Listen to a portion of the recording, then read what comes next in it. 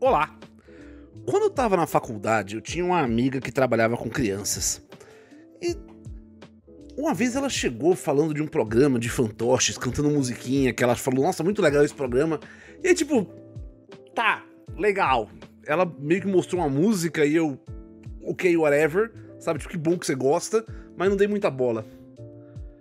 E aí, recentemente, eu tava no Chile, como vocês sabem, e o Christian me, meio que reapresentou esse programa, porque tava tendo uma exposição de museu desse programa, que se chama 31 Minutos. E aí eu tava tipo, tá legal, cara. De repente é um programa que.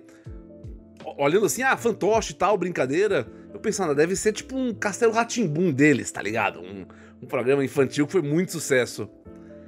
Só que, à medida que eu via a galera curtindo e eu via as faixas etárias e a, variação de faixa etária, eu comecei a questionar. Eu perguntei isso pro Christian, para alguns amigos deles, pra família dele, mais velhos, mais novos. E aparentemente, 31 minutos é mais popular que Chaves no Chile. Foi uma pegada, tipo, aqui no Brasil, para um brasileiro aqui, pensar que um programa mais popular que Chaves. Uau, sabe? E é um programa que rolou no começo da década de 2000. Eu acho que a série original no Chile foi de 2003 a 2007. E aí no Brasil, eu acho que foi de 2006 a 2009 ou algo assim. E assim, vendo o quanto tinham crianças, adolescentes, jovens adultos e adultos adultos curtindo o programa, eu meio que, pô, mano, eu quero. Como é que. Ok, vou assistir, vou começar a assisti-lo com um olhar mais crítico. Realmente, ao invés de ser só uma coisa que aquela amiga esquisita que trabalha com crianças gosta, vamos sentar e assistir o programa. E, bom, vocês sabem que para assistir um programa chileno, bom, verdade seja dita, o 31 Minutos está disponível todinho no YouTube. Tem em espanhol e também tem um monte dublado em português, tudo disponível no YouTube mas ter esse contato com um programa chileno, perceber a existência desse programa chileno, me deixou com bastante curiosidade de buscar outros programas locais dos países da América do Sul. E você sabe muito bem que Surfshark, o patrocinador desse vídeo, é o programa que eu uso para conseguir fazer isso. Surfshark é um serviço de VPN, então com ele eu consigo acessar a internet como se estivesse em qualquer país. Eu posso acessar a internet como Netflix, por exemplo, como se eu estivesse aqui no Brasil, ou como se eu estivesse no Chile, como se eu estivesse na Argentina, como se eu estivesse no Peru. E assim eu consigo buscar programas locais, diferentes, que existam coisa local que só existe naquela versão do Netflix daquele país. E claro, você sabe que eu falo Netflix como forma de stream, porque funciona com Netflix, com Disney Plus, com HBO Max. Eu não vou afirmar categoricamente que funciona com todos os serviços de streaming, mas eu ainda não encontrei um serviço de streaming com o qual ele não funcione. E, claro, não só streaming, né? Se você, por algum motivo, quiser ver notícias de outro país ou, ou rádio online de outro país, você consegue também. Talvez um conteúdo tipo para ver programas da BBC que você precisa estar em Londres para poder assistir. Funciona perfeitamente bem. Então, não percam tempo, use o link da descrição ou o cupom ELBA para ganhar 3 meses grátis ao contratar algum plano Surfshark. Voltando a falar do, da comparação com Chaves, e eu gosto muito de Chaves, e eu não tenho nenhuma vergonha em dizer que eu também gostei muito de 31 Minutos. É curioso porque não é nem o mesmo tipo de humor. Chaves é muito mais infantil. É engraçado, Chaves não foi escrito para ser um programa infantil, mas é muito mais infantil que 31 Minutos, que por sua vez foi escrito para ser um programa infantil, mas ele é cínico. 31 Minutos foi criado por Álvaro Dias e Pedro Peirano. São dois jornalistas chilenos, se conheceram na faculdade, fizeram alguns trabalhos juntos. É, quando eles saíram da, da faculdade, eles, eles, foram trabalhar num, num, numa emissora pequenininha de televisão, onde eles fizeram um, um programa humorístico que era basicamente tirar sarro de adultos que têm medo do fantasma do comunismo. Esse era o. Não é tão diretamente assim, mas Resumindo, é isso. Era o Projeto Zeta, o, perdão, Plano Zeta, que era uma referência ao plano que os comunistas usariam para dominar o Chile. E considerando que o, o, presidente do Chile foi assassinado por causa desse suposto plano comunista, é uma coisa. É uma coisa. A emissora em que eles trabalhavam deixou de existir.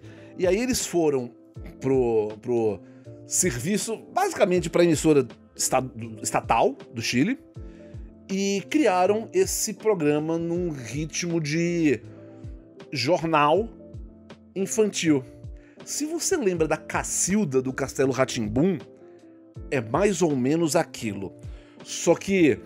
E é até engraçado como a primeira temporada de 30 minutos, de 31 minutos, é meio. Meio fraquinha. Começa bem fraquinha, porque eles realmente estão no gimmick de fazer notícia. E aí eles dão notícias como, por exemplo, ah, vamos aqui acompanhar a história de um menino que quer pintar o cabelo de azul e a mãe não deixa. E aí aparece o um moleque, eles entrevistam a mãe, ah, mas por que você não deixa seu filho pintar o cabelo de azul? Qual o problema? Isso é meio whatever.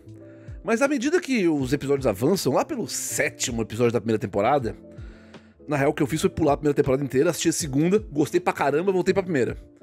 Mas à medida que os personagens se desenvolvem e criam seu, seu traquejo, suas personalidades mais definidas, as piadas vão melhorando.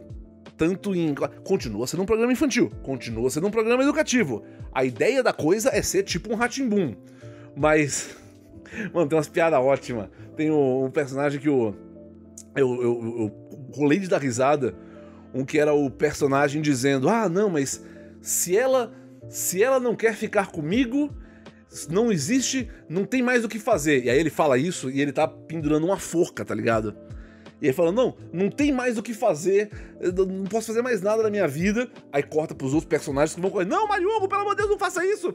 E aí quando chegam, esse personagem, que é um chihuahua, ele é um cachorro pequenininho, ele tá sentado dentro da forca, balançando pique Miley Cyrus na, na bola de demolição, dizendo: É, pois é, se ela não quer ficar comigo, a última coisa que me resta fazer é ficar brincando nesse balanço até eu me chatear.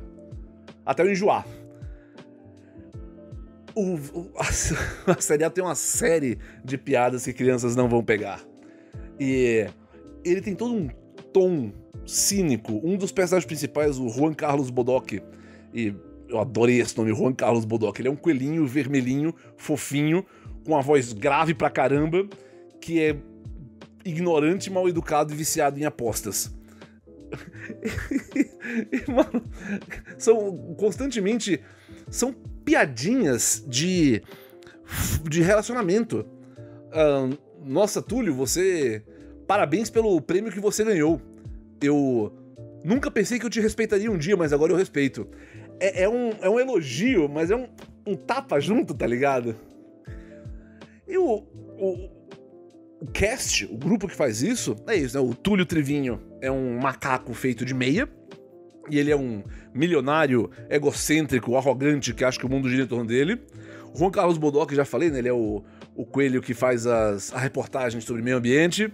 O Mico Microfone, que faz pesquisas de opinião com as pessoas na rua e essas, à medida que a série avança, vão se tornando cada vez mais engraçadas. Como eu disse, quando começa a série, eles meio que queriam fazer um, um, um pique jornal infantil, mas à medida que vai avançando, eles vão colocando trocadilhos e brincadeiras e piadas não óbvias e piadas não verbais.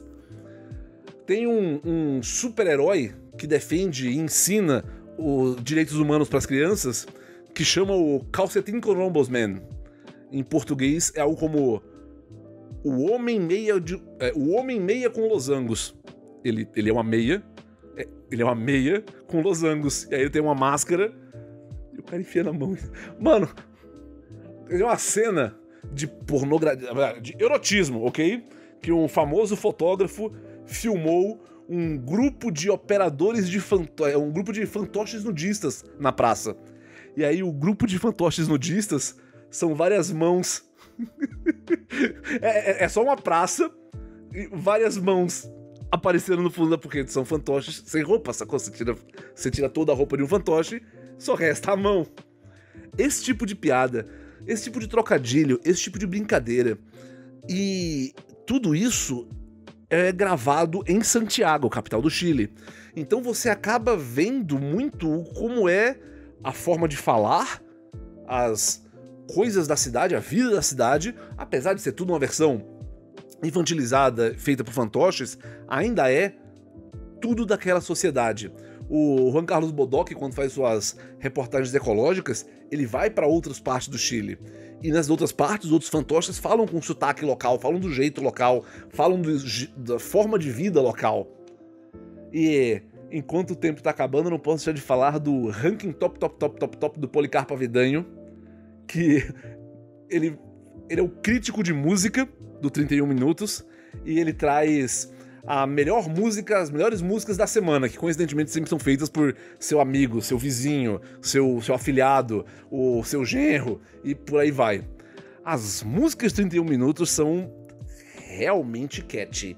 É, a Isis tá, tá, tá me zoando que eu voltei do Chile e passei uma semana cantarolando musiquinhas em espanhol, porque elas são realmente boas. Nem todas são perfeitas, ok? São melhores, algumas são melhores que outras, mas é um, um, fato notório da série a musicalidade da coisa. Bandas chilenas, bandas de rock chilenas já se se voluntariaram para regravar a música e fizeram até show com músicas de 31 minutos. Essa porcaria tem um CD de música próprio. O nome 31 minutos é uma paródia a um jornal sério do mesmo canal chamado 60 minutos. Então ele é metade do jornal, só que é um programa de humor, de galhofa, de palhaçada. E depois de assistir, é aquilo que eu falei. Me chocou alguém falar: não, não, isso, é, isso é mais popular que Chaves aqui.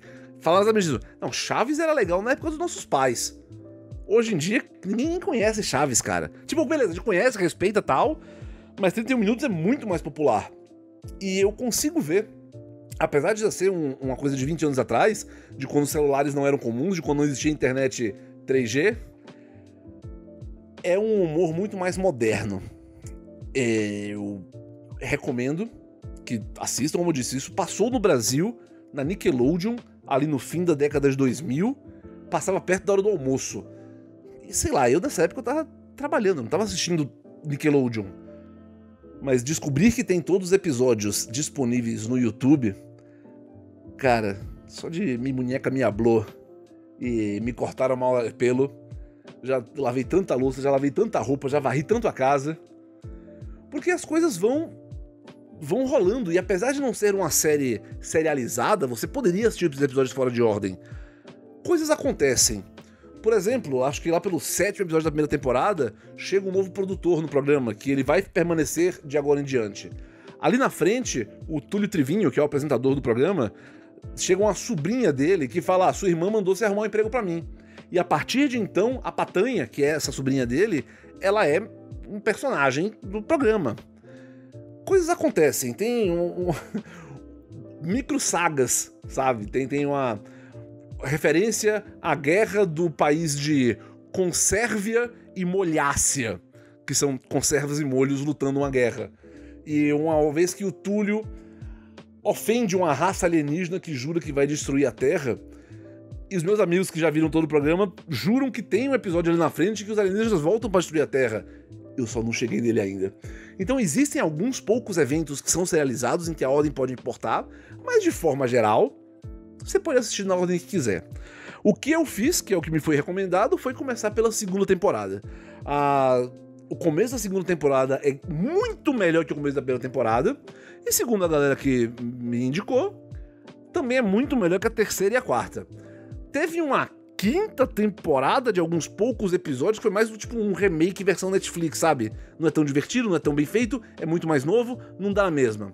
Mas eu acho que a segunda temporada de 31 minutos é realmente programação infantil de qualidade, o tipo de coisa que eu esperaria que quando eu era criança passasse na TV Cultura. Fico muito feliz, porque eu já tinha ouvido antes que versões próximas, parecidas de programas infantis ocorrem em todos os países da América do Sul. Então eu já ouvi falar que tem uma Xuxa, ou uma Xuxa genérica, em todos os países, e um agora um Ratimbum genérico. Já vi no Brasil, já vi no Chile, talvez tenha em outros países também. Programas de desenhos é um modelo baseado no modelo americano, mas também muito comum aqui. E isso, como eu falei, me destravou aquela vontade de sair procurando como será que eram os programas infantis pelo resto da América do Sul. Quem sabe isso dá vídeo?